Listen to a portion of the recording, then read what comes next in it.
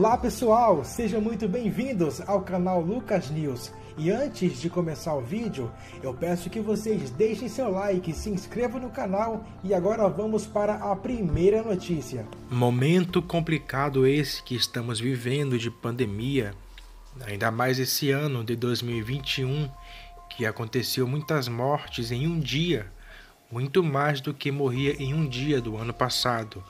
Mas graças a Deus, a vacina contra o coronavírus está chegando. Agora, dia 20, muitas pessoas já serão vacinadas e tem muita gente contra essa vacina. Aqui teremos duas notícias, então fique por dentro de todas elas. Você se lembra do ator Michael Borges, ex-protagonista de Malhação? Pois é, pessoal, ele foi fotografado na companhia de seu filho Zion de 6 anos, em uma praia na zona sul do Rio de Janeiro, na manhã desta última quarta-feira. Aos seus 32 anos, o ator e também cantor, que já assinou artisticamente como Mika e Michael Borges, aproveitou ainda para se refrescar com um banho de mar.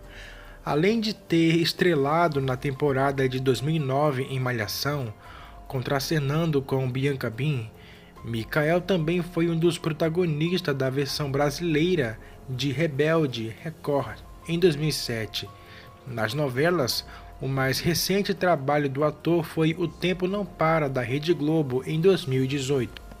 Para quem não sabe, ele é bastante apaixonado pelo universo da música.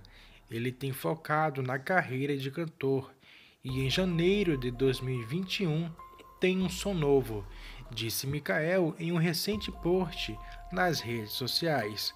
Pois é, pessoal, se você gosta do ator, deixa aí para ele uma nota de 0 a 10. Agora vamos para a última notícia. O ator Olanokyotan Gibolabo Lucas, popularmente lembrado por interpretar o guarda-costas de Richa, ele faleceu no sábado.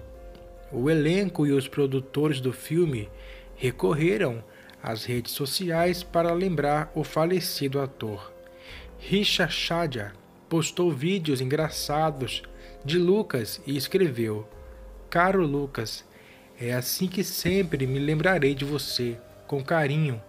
Obrigada por ser maravilhoso, por ser um esporte e por ser um propagador de alegria.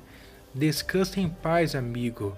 Varun Sharma também tuitou um membro do elenco muito querido, Lucas, que ensaiou o papel de Bob na franquia de filmes Funky, faleceu. Mas profundas condolências à sua família. Lucas, você fará muita falta. Hip. Pois é, pessoal, estamos vivendo em momentos bastante complicados de pandemia em que todo o cuidado é muito pouco, porém também é muito necessário. Assim como eu falei no começo do vídeo, essa vacina vai chegar agora, no dia 20, na verdade já chegou e promete dar início à imunização de muitas pessoas. E se você está apto para também ser vacinado, corra o quanto antes, porque o mundo precisa melhorar bastante. Pois é, pessoal, nós desejamos né, que Deus possa confortar o coração dos familiares e que esse ator que faleceu possa descansar em paz.